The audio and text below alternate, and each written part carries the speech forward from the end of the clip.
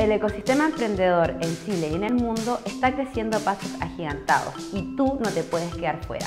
Si crees que tienes que ser un genio como Steve Jobs para poder entrar en él, estás muy equivocado. Lo único que necesitas es conocer tus fortalezas y debilidades para poner al servicio de un equipo de trabajo todas tus competencias en la generación de un proyecto. Te invito a trabajar en ello a partir de marzo. Nos vemos.